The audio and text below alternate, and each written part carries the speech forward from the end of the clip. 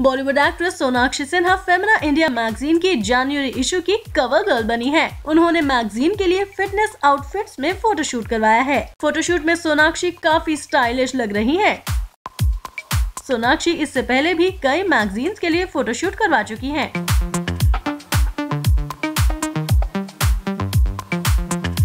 बता दें कि इस साल सोनाक्षी फ़िल्म फोर्स टू में नज़र आएँगी। इस फ़िल्म में जॉन अब्राहम उनके को स्टार होंगे।